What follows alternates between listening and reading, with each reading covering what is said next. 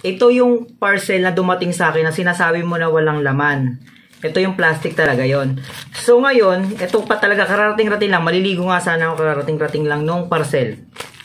Eh nahihipo ko naman, sabi mo na walang laman.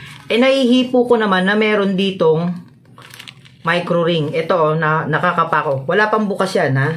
Wala pang bukas yan. Kararating lang. Na, nahihipo ko yung micro ring. Ito. Ayan o, oh, nahihipo ko. Walang bukas yan ha. Kaya no.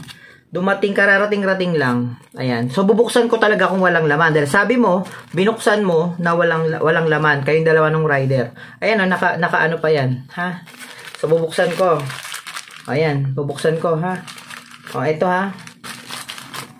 Ito yung waybill mo. Ito yung waybill ko. Hindi nga nabuksan yung waybill ko eh, oh. Oh, walang plus, walang ano. Oh, so, malinaw. Bubuksan ko. Ayan. Sinasabihan mo ko na manluloko eh. O, ayan. O, ayan ha. Bukas na. Hinahanap mo yung buhok. Hinahanap mo yung buhok. Sabi mo walang hibla. Ayan o. Pagbukas mo, ayan na yung buhok ko. Ayan. Isang piraso lang naman yung in-order mo. O, tapos sabi mo may, may sulat pa. O, kalok ba wala kang nakita? O, bakit may sulat dito nasa loob ng ano, Waybel? O, ano sabi ito?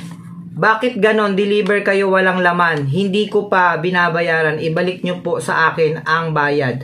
Nanloko kayo. Seller ka. Ipatu patulpo ko kayo. O, patulpo mo ko. Sige, ngayon.